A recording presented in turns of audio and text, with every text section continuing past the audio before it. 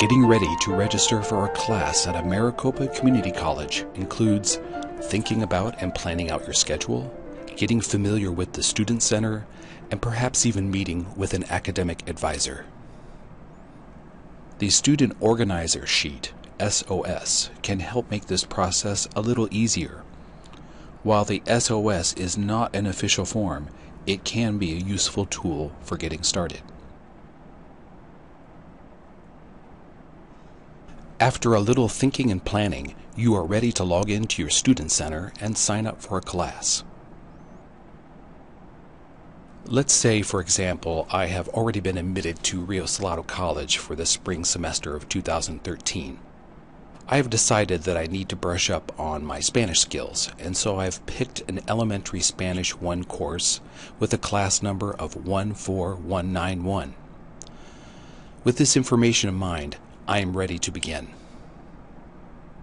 In the Academic section of your Student Center, click on Add a Class. On the next screen, a list of your admitted colleges and the time of year or semester you intend to start your first class are on display. The standard items are fall, spring, and summer.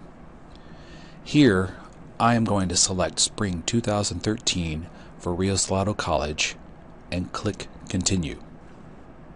On the next screen, I will need to enter specific class information.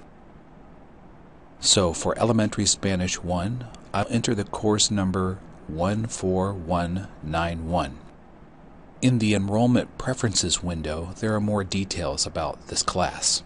Just like with online shopping, I need to confirm my new class registration to complete the process by clicking Next. A message confirms that this class is in my cart. Moving forward, I click on Proceed to Step 2 of 3. The Confirm Classes page shows the Spanish class that I picked. This is the same process for just about any class, but there is still one more step. Finish enrolling. After clicking Finish Enrolling, the next page will confirm your registration. As an extra step beyond this tutorial, you may want to check with your school to find out when tuition payment is due. Be sure to take advantage of our trained staff on campus if you have any questions about this or any process.